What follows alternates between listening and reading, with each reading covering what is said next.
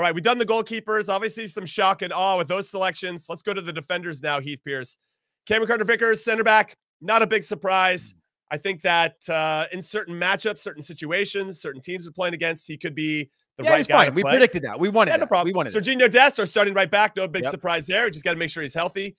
You have Aaron Long, who is, it seems like at 30 years old, this is it. This is going to be his last hurrah at the World Cup level, but Mhm. Hadn't really been playing well since coming back from an Achilles injury, but seemed to have been given every opportunity to not make the team or Well, to make the I don't team. think And- and anybody took his spot either. Nobody went out there. That's and took fair. His spot. that's fair. Yeah. So, I mean, Even if you're a enough. veteran, even if you're a veteran, Jimmy, if someone's not going to come out there, whether that's uh, Erik Palmer Brown or Mark McKenzie, yes, they both had solid outings at times, but neither of them really said, "I'm going to take this guy out," who obviously has the trust of the coach. So while form is a thing, I also think nobody really came and snatched it from him. No, that's true. And for everybody joining us on CBS Sports HQ, what's up? Great to see you. We're talking about the defensive part of this U.S. men's national team that's going to the World Cup. There are some surprises, mainly Shaq Moore, who mm-hmm. played in the Spanish second division last season. Now he plays for Nashville and MLS.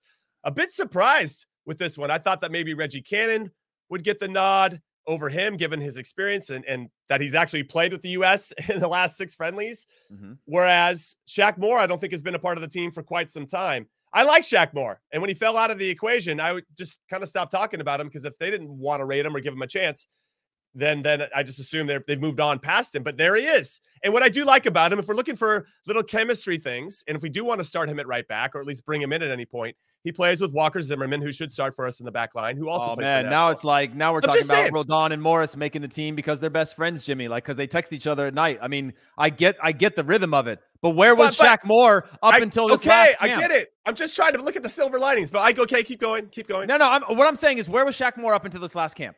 Right? Look how many right backs we're bringing to this. Yes, Joe Scally can play on the left. Yes, Serginho Dest can cover on the left.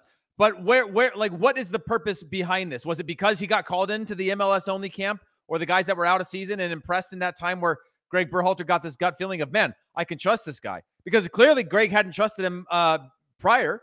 We had a depth chart of Serginho Dest when he's not available, DeAndre Yedlin when he's not available, Reggie Cannon, and Cannon could also play a little bit of center back. He and then can. you have Shaq Moore, and so that's Dude, another I would go actually. I would go Joe. sto- I'm Sca- s- I, yeah. We had Joe Scally before we had Shaq Joe Moore Scally, exactly. Sha- Joe Scally was potentially. We were talking about him with Yedlin of like maybe he can slide in, maybe it's too late. But now you've got Shaq Moore. What is it you're like? Do you think that there's just we're gonna play with five right backs again? This is a question for Gregg Berhalter.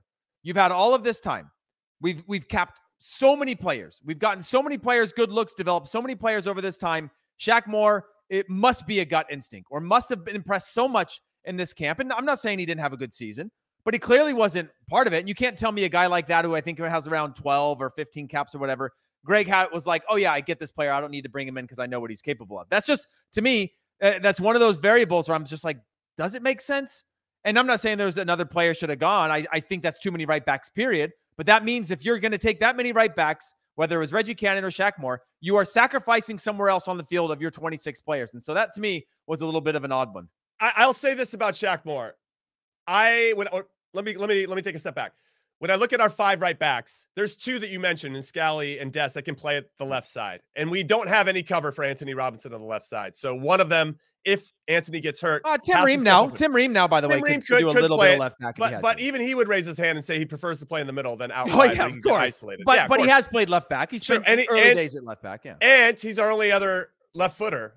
So we have two left footed players in our defense. That's Tim Ream, who plays center back, and we have Anthony Robinson, who plays left back. Thankfully, if we're looking at the chemistry vibes again, they both play for Fulham and they've both been playing pretty well. Despite That I will give you. they're That I will give you, Okay, Jimmy. I'll give you that chemistry. I'm just one. saying. Yeah. Okay, fine. But You don't even to make Shaq a Moore- team because of that. Listen, Shaq Moore. Yeah. I like he's got more similarities, I think, to Serginho Dest than maybe Yeah. anybody else. I- I think he can get forward. I think He's he can whip in a good cross. He's explosive. I think Yep. that uh, he could he can he could probably unbalance a team. I'm assuming this is if he gets in. But for me, this is the biggest surprise for sure. We have the big surprise of Zach Steffen not being part of the goalkeepers, which is crazy to me that he's Mm-hmm. not in. I'm still trying to process what that means to me. Going through an emotional spell at the moment, just thinking about it. We haven't even got to Ricardo Pepi yet. And then Shaq Moore is the biggest surprise for me in this collection of players. But because for everybody that doesn't know, they've expanded the World Cup rosters from normally 23, historically 23 to 26. We got three guys we can throw out there for the vibes. So maybe he's a vibes guy, and if he gets to yeah. play, maybe he proves his worth. I will raise my hand that when I played in the World Cup in 2006, I'm pretty sure I got selected for my vibes.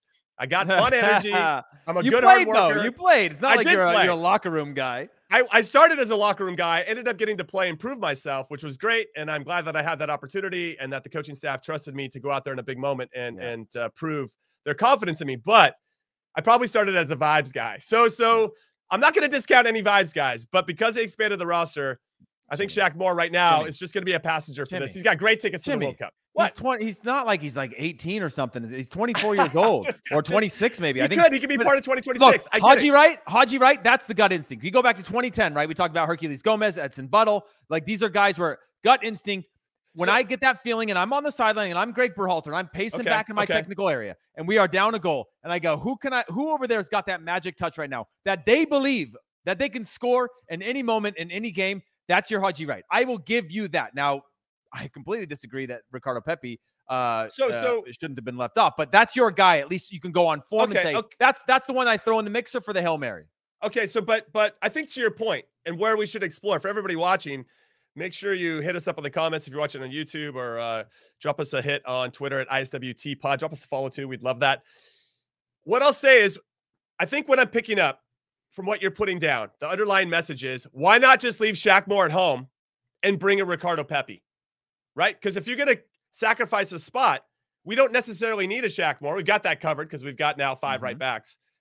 And bring somebody that has proven that. It feels like to me, when I think about the Ricardo Pepi situation and him not being included, which we're going to get into a little bit more, and you think about Zach Steffen not being included from a goalkeeper, it's like it's like Gregg Jimmy, knew he was. Listen, listen. It Jimmy, like this isn't about Shaq Moore. It's not about Shaq Moore though. It's about the fact that we have he is number four in our current World Cup roster for right back position. I get it. So, that so we sacrifice him and get another for. striker. It's not. I get it. I, am I'm, I'm super stoked for Shaq Moore. I'm so proud of the work that he's put in and the player that he's become. Sure, of course. But do you need four right backs? No, you don't.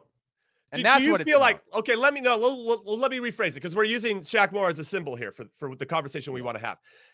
And I believe when I look at some of these decisions that Gregg has made, it just feels like he was trying to save himself for having to make tough decisions in tournament. Because what if Matt Turner has an absolute stinker against Wales as our mm-hmm. number one? You would most likely go to Zach Steffen against against England. But instead, you just rule out that possibility.